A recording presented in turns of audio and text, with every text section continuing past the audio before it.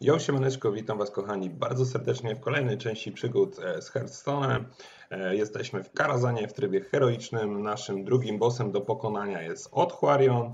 E, jego hero spell polega na tym, że zadaje nam 8 punktów obrażeń za jeden many, więc jest to dość, dość problematyczne i dość takie, no bym powiedział, kłopotliwe, bo może już nam w pierwszej turze zadać 16 punktów 16 punktów obrażeń. I teraz mm, do pokonania tego bossa wybrałem wojownika mm, Natalii, która no myślę standardowy Pirat Warrior. Ma kilka jednostek, które wypuszcza za niską ilość many, a którą jesteśmy w stanie przyblokować e, mm, oba portale. E, przez to no, już nie będziemy odnosili tak dużych obrażeń, a mamy szansę, mamy szansę w międzyczasie go innymi mm, stronnikami bądź też jakąś bronią e, dobić tego smoka.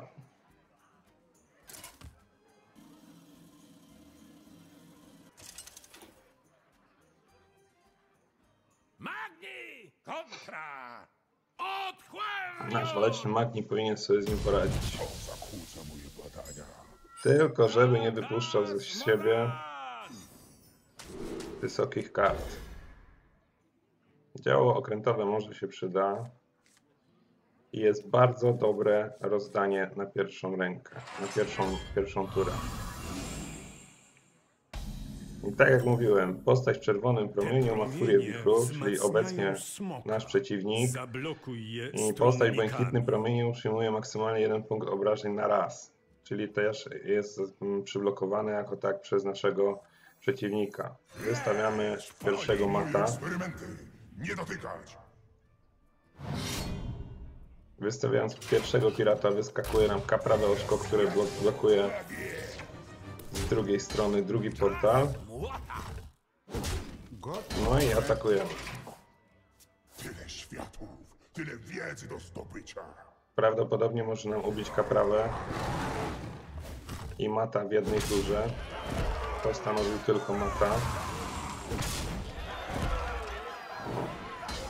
I kaprawę zaraz też. No nic, wystawiamy działo. I atakujemy. Furię Wichrów ma przyblokowaną, ale wątpię, żeby zaatakował nam teraz bohatera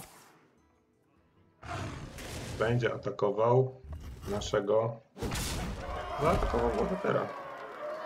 Dobra. Nie jest, nie jest najgorzej.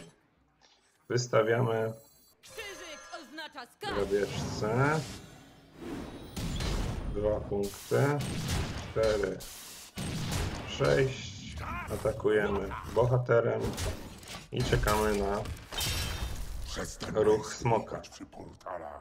Modulacje przepływu są idealnie zestrojone. Powiedz nam, za którym jest Medivh. Musimy się zacząć streszczać z zadawaniem obrażeń od Hoarionowi. No bo maksymalnie już teraz przeżyjemy jedną turę, więc ta i kolejna. Niezbyt dobrze to wygląda, ale nie ma też tragedii.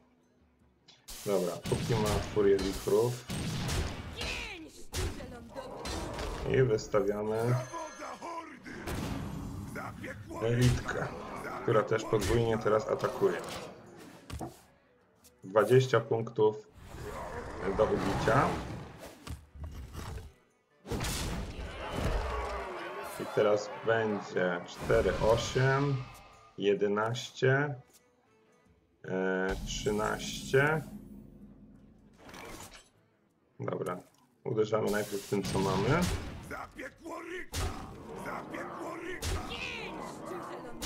Mm, wystawiamy tutaj wilczego jeźdźca.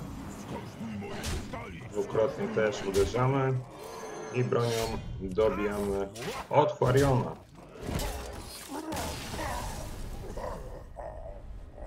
No, tak jak mówiłem na samym początku, najważniejsze jest to, żebyśmy żebyśmy na samym starcie gry już opanowali oba portale. E, z prawej strony na niebieski postawili jednostkę, która ma więcej niż jeden punkt życia, bo wtedy nawet przy ataku e, od Quariona ona przeżywa, bo dostaje tylko jeden punkt obrażeń, a później e, wystawiali się tylko i wyłącznie z lewej strony, gdzie każda jednostka wystawiona ma furię wichru i dobrze jakby jeszcze jednostka, która została tam wy- wystawiona, posiadała od razu szarży, tak, że w rundzie, której, e, w której e, została wystawiona, od razu mm, zaczyna, mm, zaczyna atakować. No i dobra, teraz talia, na której mm, ten boss został, jaka przenabój, e, na której ten boss został pokonany.